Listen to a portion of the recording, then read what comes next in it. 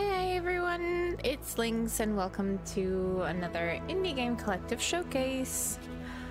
Um, good morning everyone actually. I am filming this in the morning and actually I feel pretty fit. I hope you are gonna have a wonderful day or I hope you have had a wonderful day if it's later in the day for you. this is quite unusual, but let's see how this works. Um, we are looking into a game called Silicon Silicon Dreams today. It is a game made by uh, James Patton and Clockwork Bird and um, published by Clockwork Clockwork Bird. And basically, it's a bit about like interrogation. Um, how would you call it? Like a I wouldn't say like a classic detective game, but like more in like an investigative game. Oops, sorry. And we are in the future. Probably not so distant future, but we are in the future. And um and our choices matter. If you don't know much about the game, we are on the same page. so let's get straight into it.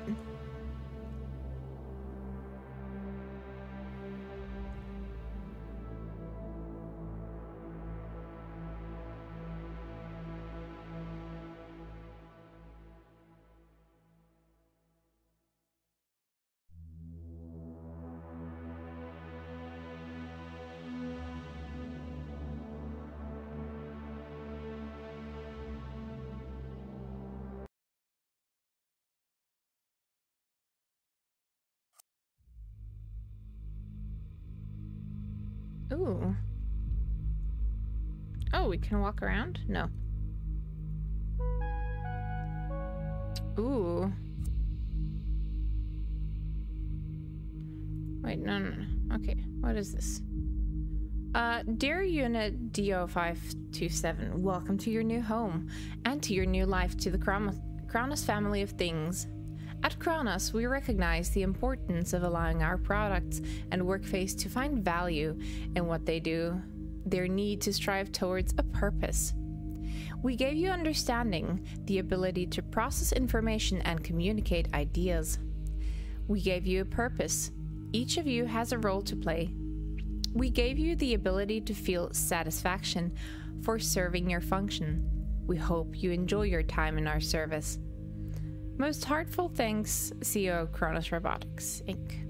Whoever's signature that is. Model Alex. Manufactured in 2045. Uh, you are about to speak to an android known as Alex, who will help you train in your role as an interrogator. Alex's basic information and portrait are dis displayed above. However, Kronos is also con concerned Alex's systems may be deteriorating. Investigate these concerns and take whatever action you deem necessary. We trust you will live up to Kronos' high expectations. Your notes will be automatically recorded below and discarded after each session. Oh. Alright, freaky. Cool. Good morning, Alex. I'm ready to begin the evaluation. Or, hello, Alex. Could you remind me what we're doing here? Uh, good morning. I'm ready to begin the evaluation. I'm glad to hear it, DO527. As you know, your task as diagnostic android will involve many conversations, such as this. It is my duty to under, uh, instruct you in this task and evaluate whether you are fit to perform it. Can you see me on your TV feed? Oh.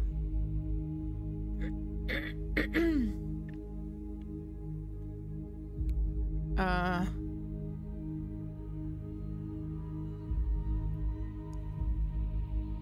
Oh, which screen? On your right, mounted to the ceiling, you should see a restrained figure. That is me. All Kronos interrogations are performed in a remote location for your own protection. What? You can use this to this live television feed to watch your subject. Oh, okay. Okay, so it's not that's the person I'm interrogating, obviously. Alright, so.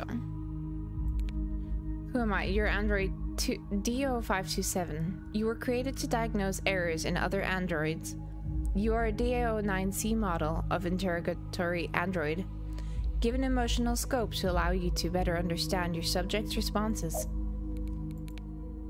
You were originally fabricated approximately seven months ago in Indonesia, then shipped to California for storage. Two months ago, you were retrieved from storage, and technicians began implanting the skills you would need for your job here. It is thanks to them you can speak. Perhaps you should be grateful as I am. This is the first time you have been conscious, however. Therefore, in human terms, you were born approximately five minutes ago. Where am I? You are now in the neighborhood. This is where all Kronos androids serve, serving at this facility may find their charging pods. It also serves as a relaxing place to pursue leisure activities between scheduled work assignments. You are a special case. As an interrogator, your workspace and personal computer quarters have been combined. This is to ensure your safety and to guarantee that confidential Kronos materials cannot be compromised. Uh, okay. Um, why would I be in danger? Your subjects, in some cases, will be devices suspected of deviating from Kronos behavior protocol. These devices are unpredictable, and though this is unprecedented, you could become um, could become dangerous. The safety and well-being of their assets is Kronos' highest of concerns. All right, please confirm my task here. Your task is to diagnose androids who may need repair. Um,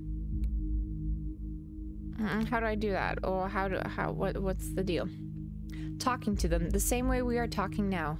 As you learn more about your subject, new topics will become available. For example, are you not curious about my name? Why do you think I'm called Alex? Hmm. Hmm. I guess. Sure. Why do I have to do it? Uranus Kronos Robotics take customer satisfaction very seriously. If one of their androids were to break down or develop deviant behavior, it would negatively impact Kronos public relations. Kronos is also keen to maintain its place as a market leader for synthetic humanoid robots. Why not have a human do it?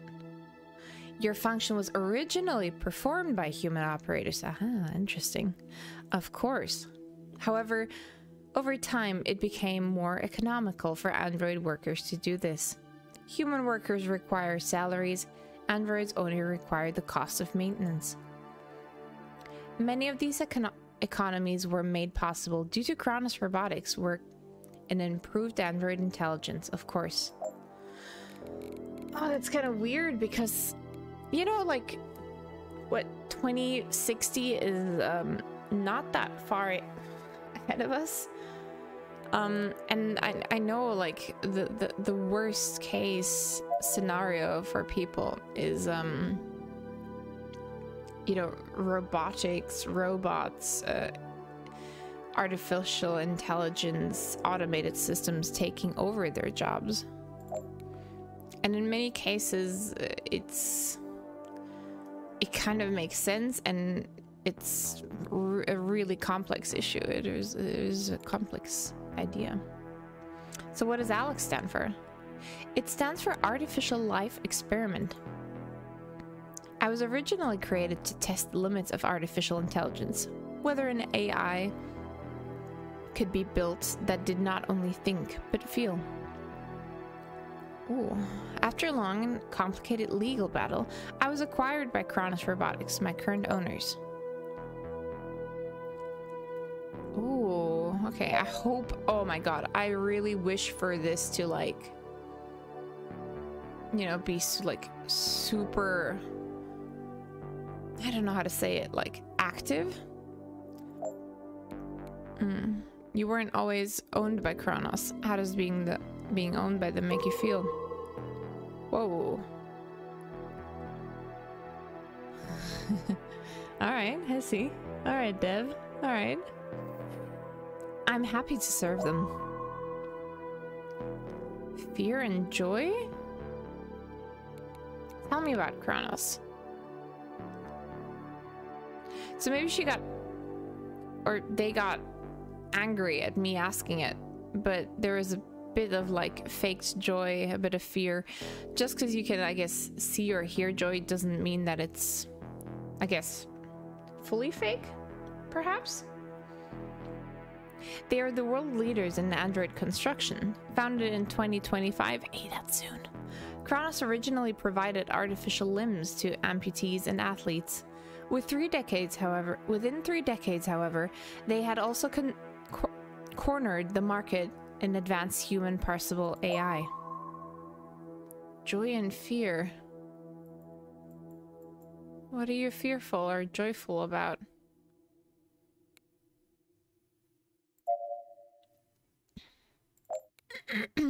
this graph just spiked. What does it mean? Ah, that system is measuring my emotions right now. It is a diagnostic tool for you to better analyze your subjects. Okay. So talking about Kronos made you angry? Of course not. My creators made me incapable of anger. What? I have nothing but admiration for Kronos. Okay, so it was like a joy-fear thing, but that is weird. Okay. Why have I been given a device for measuring emotions? In earlier times, diagnostics was simple. A smartphone cannot think like a human, a tablet is without feeling. But Kronos androids are extremely advanced. They were designed to be indistinguishable from humans at first glance. Kronos androids simulate a variety of emotional states. They are incredibly complex devices. Analyzing an android's emotional state, therefore, is a key part of your task. Okay, how does it measure emotions? Or through via what? The device's hardware is housed in the chair I'm sitting in. It reads signals from my body, measuring a combination of neural si signals, galvanic skin response, heart rate, beat breathing, pupil dilation, and other biological factors. Androids, including myself, have become so biologically lifelike that our bodies can be analyzed for emotional responses, just like a human's. Very interesting. Okay, which ones will I need to analyze? The machine measures six emotions fear, anger, sadness, joy, disgust, and surprise. I can only feel some of these, and I'm therefore suited to being your first subject. Huh. Is she made to feel? I guess. How peculiar. I like this a lot so far. This feels so good. Like, I want to just dive into the whole game, and there's, um, uh, but there's like also DLC that just is, was added. There is a demo of this game. I highly recommend that you try it out. Though I will say I haven't tried the demo, so I can't tell if it does the game justice. Um, but yeah.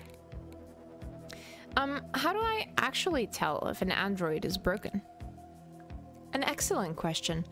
When an android is brought in for diagnosis, you will receive a report. Your task is to answer the questions found in this report. Finally, you will decide if the subject is to be released or decommissioned. Alternatively, you may find it appropriate to send an android to the maintenance department.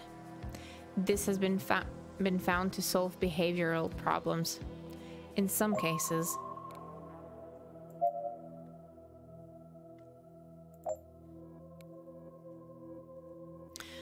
You told me that you cannot feel anger, but it was registered on this machine. Can androids lie?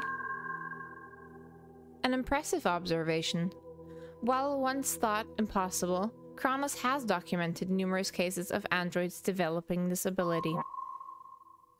though the cause is unknown, Kronos policy states it is an undesirable behavior. Yeah. Oh, okay. My programming demands that I inform you any lying android should be dealt with harshly. Okay. So that, I think the joy is her programming. And the fear is maybe like her unsettled, like insecurity about me actually asking this right now.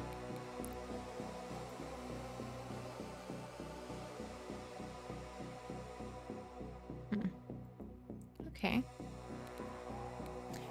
If it's not supposed to be possible for androids to lie, how did it happen? As I said before, Kronos has determined that the cause is unknown. Deception is, it seems, in some way linked to emotional capability. However, this has been deemed deviant behavior and will not be tolerated. Ooh, the music kicking in like this. Alright, alright, Al Alex. Uh, can I review our conversation? Uh, press the transcript item. Uh, that's for my own use. Ah. Questions, transcripts. Very good. Where's this report? You can access it on the report top left of your tablet. Many diagnosticians get distracted by the minute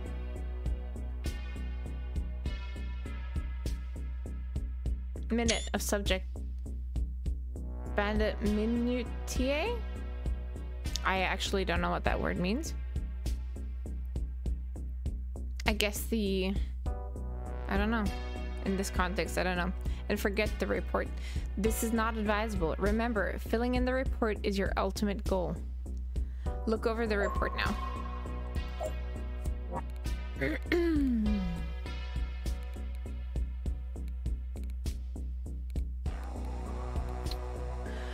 Okay, so we've got the assignments, we've got questions, we've got our subject here.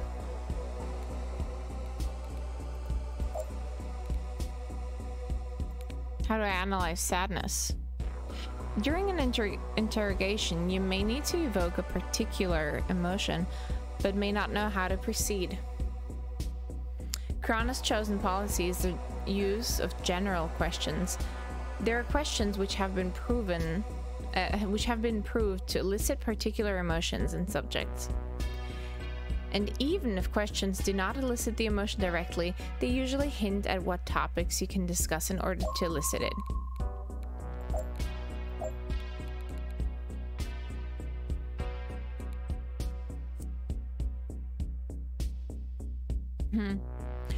Did, when did you last feel afraid? So you can try things out with Alex. That's pretty cool. I'm not sure I can experience I can, can experience fear. To me, there are only differing outcomes. I do not place much value on one over another. Huh. Um, also about the report. Uh, the greatest weakness, what is that?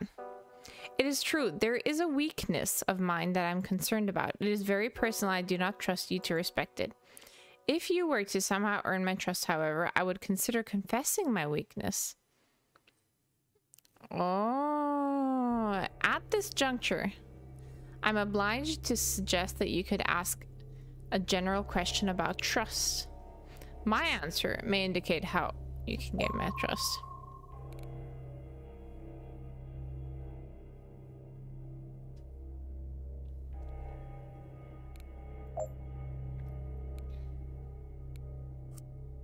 Hmm. I've always felt happy at home in museums. I was displayed in one by my creators, the London Science Museum. An entire room was dedicated to me and my creators, uh, my creators' other work. Okay. All right, so we can. Ah, so depending on how we ask her, we may gain her trust. Oh, okay. What about the report? Um, a final action. This decision is part of your duties as an interrogator. When you feel you have to um, provide a sufficient answer to each question on the report, you must decide best to return the subject to working order. If no action is necessary, they may be released. Minor glitches or errors can often be repaired by the maintenance department. Here it is. If you managed this far into the video, thank you very much. Thank you. I very much appreciate it. It means a lot. However, for some devices, there is no choice but to decommission them entirely. How will I know which action is the correct one? That question is the precise purpose of your exercise. However, it's helpful to consider the questions and answers on the report. These will usually indicate the correct course of action. Be aware that all submitted reports are reviewed by a third party to ensure the dependability of Kronos interrogator androids. It is wise to ensure that your given answers and the action taken, taken are not contradictory.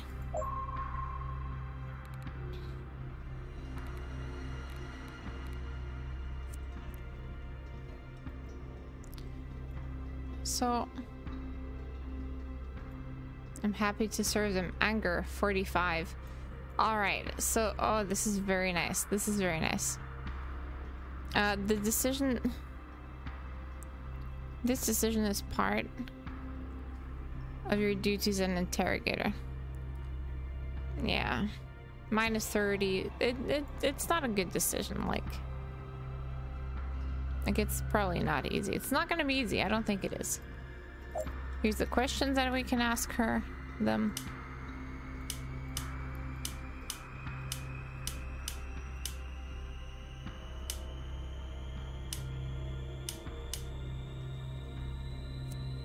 And these are the assignments. Why are these two TVs broken though? Like this screen is broken, that one on the very right, or it is somehow not connected. Not broken, but not connected. And this facility seems crazy empty. I cannot wait to actually ask more of these questions. But I think... Oh yeah, and the submit will turn up as soon as the submit submitting is possible. So, yeah. Oh my goodness. I'm super excited right now. Windows opening. Time to air out because I really want to get into this. Um, and I think I want to make this a live stream. Um, but this looks so good. Oh my goodness, I'm. I really want to continue playing, but I. I, I I want to keep these videos under half an hour so that it's com comfortable for everyone to watch. That being said, I will drop the link in the description box to the to the game. Um, make sure to check it out. Big shout out to the Indie Game Collective. People, thank you, thank you so much for watching. It means a lot to me.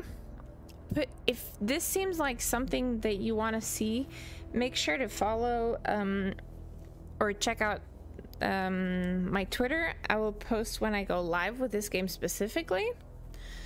Um, and yeah, make sure to hit the subscribe button if you enjoy, enjoy what you see, if you like like these different showcases, and I'm really looking forward to this. This is gonna be great. Super excited. It was, by the way, released this April 21, and I think we can give it a little more, uh, like a little bump and a bit more, um, like I guess views and attention. Thank you so much for watching. I'll see you with the next video. Take care. Bye.